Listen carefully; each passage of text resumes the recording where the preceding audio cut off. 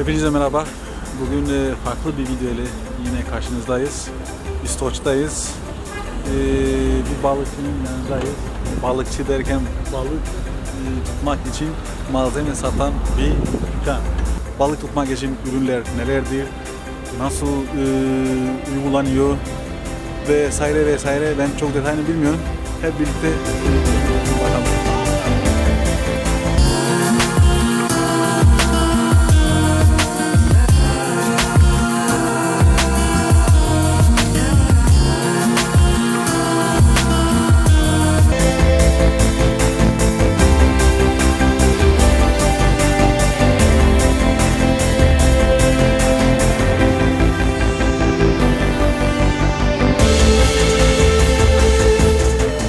Selamun Aleyküm. Abi merhaba hoş geldiniz. Nasılsınız? İyiyiz sağ olsun nasılsınız? Abi burada ne var ya? Balık malzemesi. Balık malzemesi. Balık malzemesi. Balık üzerine aşağı yukarı ne ararsanız neredeyse var. Ben hiç balık tutmadım. Hoş Bana geldiniz. nasıl balık tutulduğunu öğretir misin? Buyur gel. O zaman kılıç makineyle başlayacağız önce. Şimdi başlamadan önce ben bu makineyi tripoda koyacağım. Sonra da konuşacağız.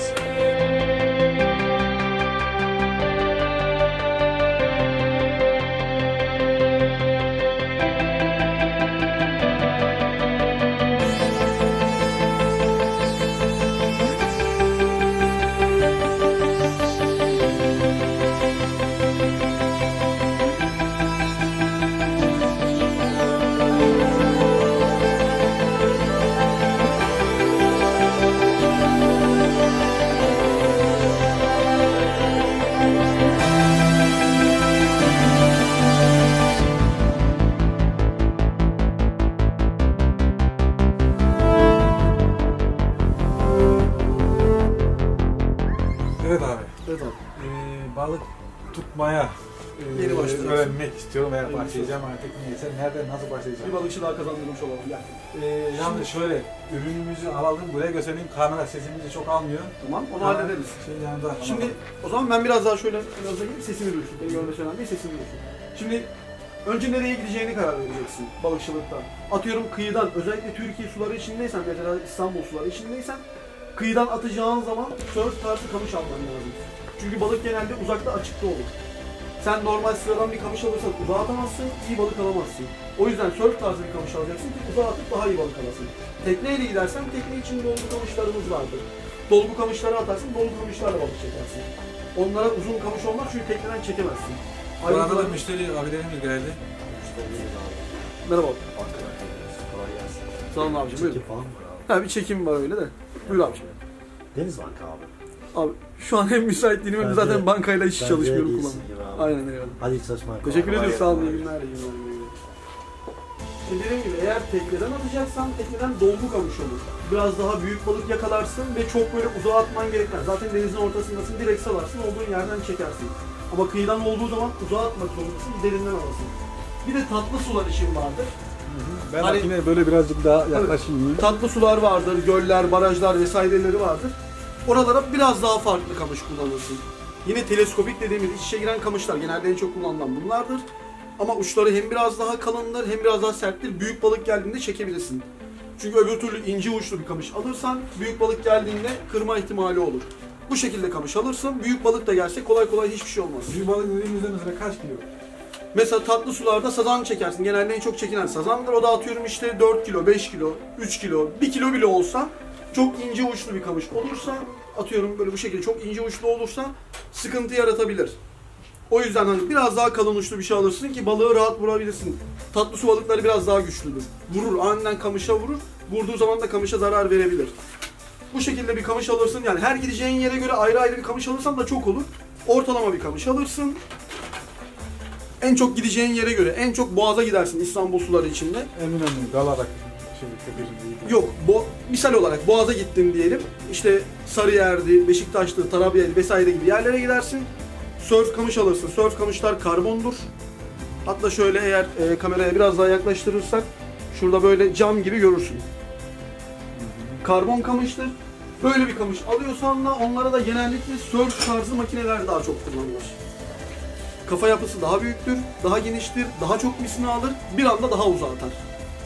Normal bir mesela e, makine alırsam o kadar uzağa atmaz. Kafa, kafa yapısı daha derindir ve daha sıktır.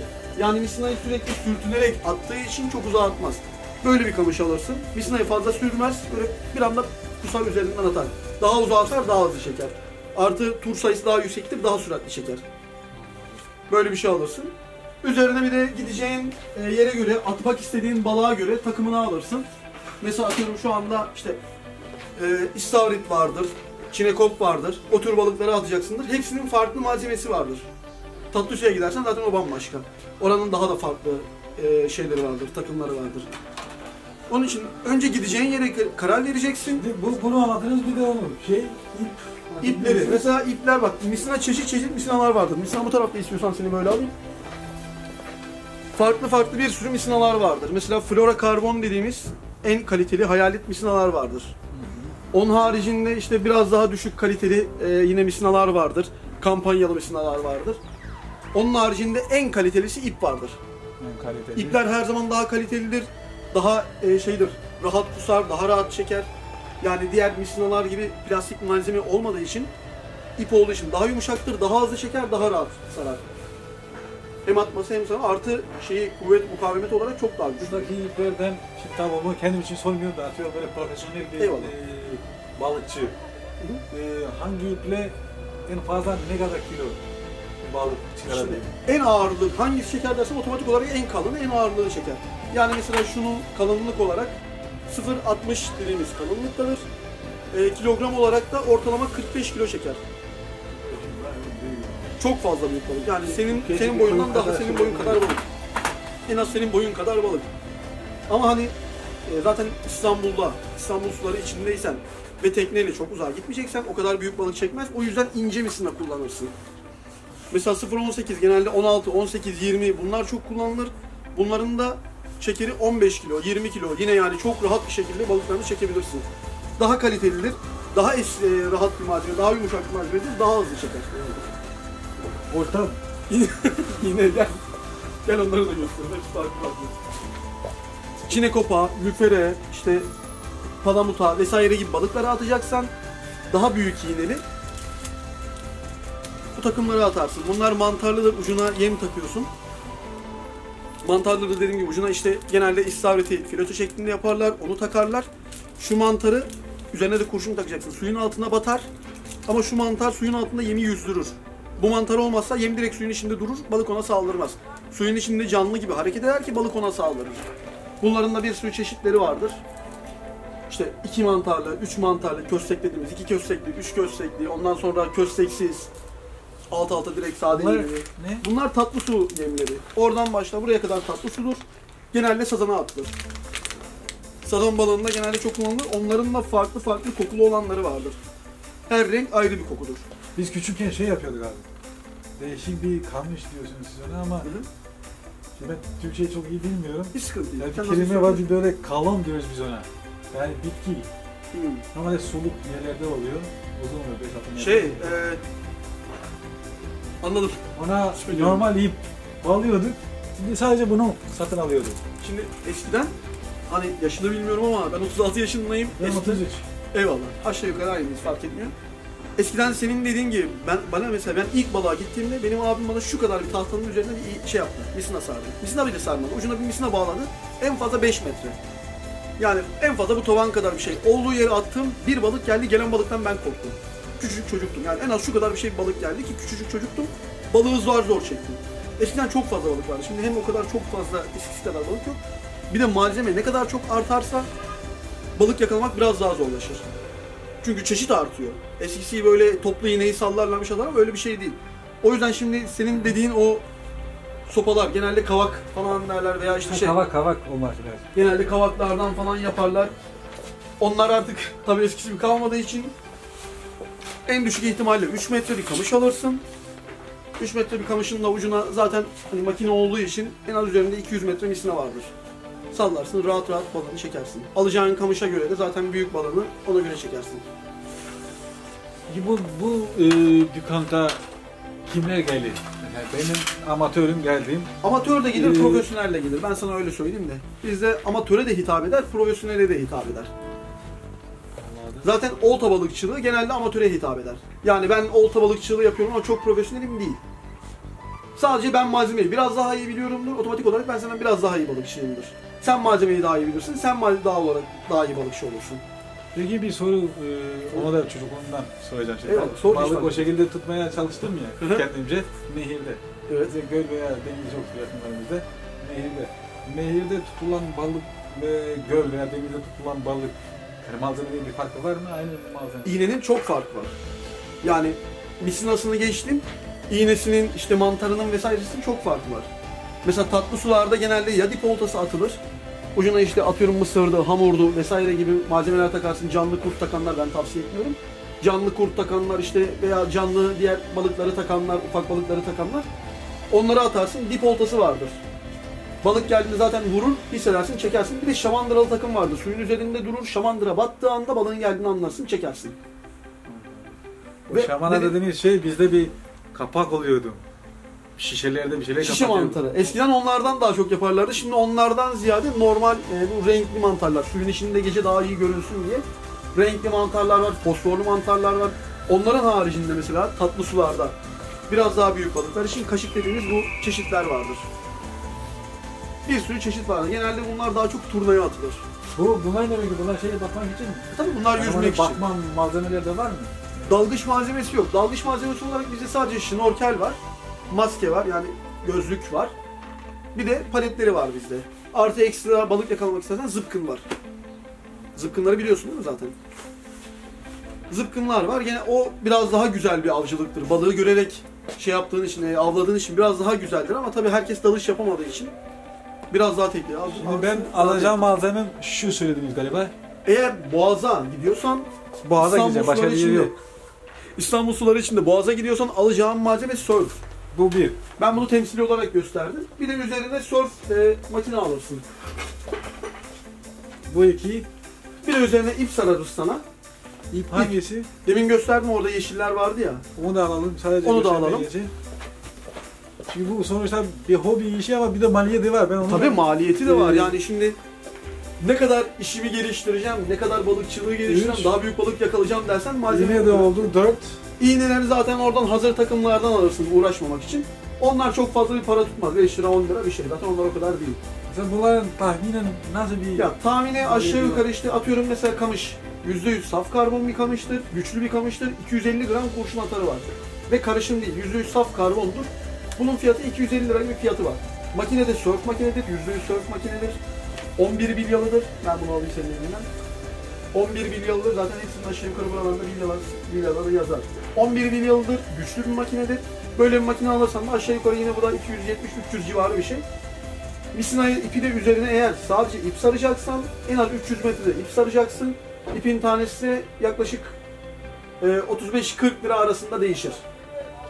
Yani ben bu, Yani bu amatör olarak başlayacağım şey yukarı- 700-800 lira bana patlıyor.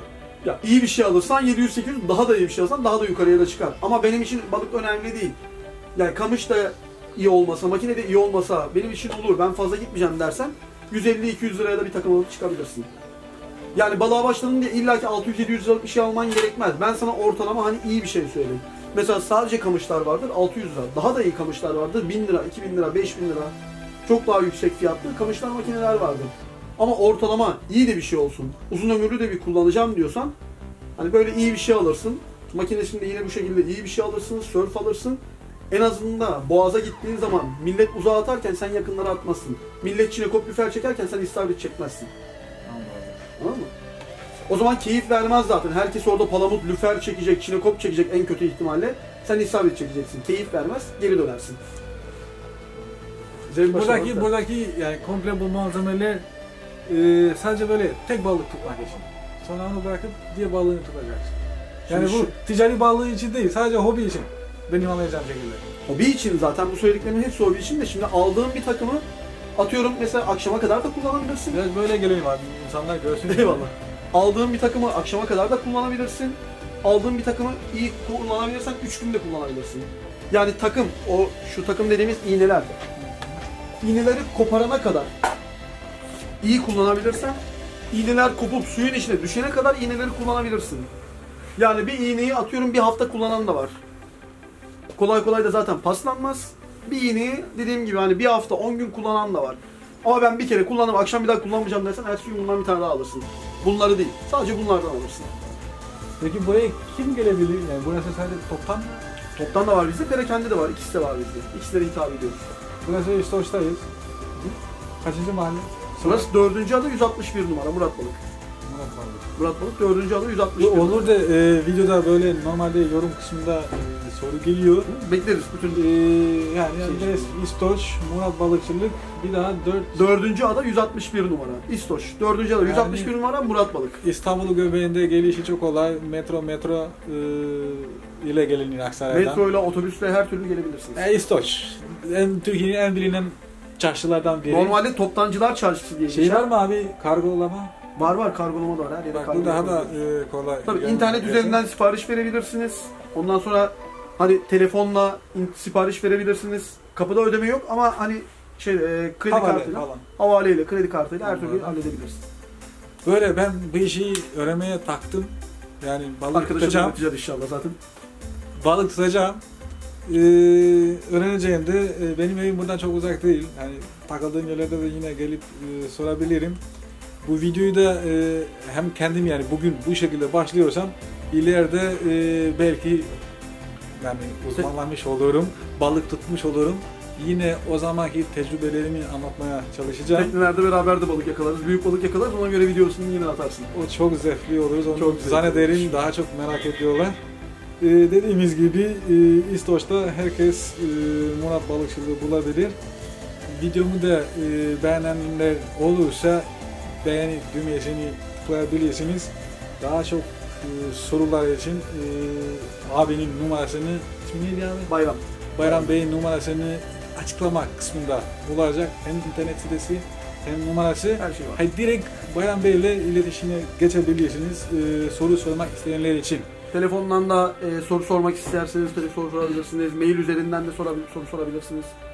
Yani e, bu hobi işi.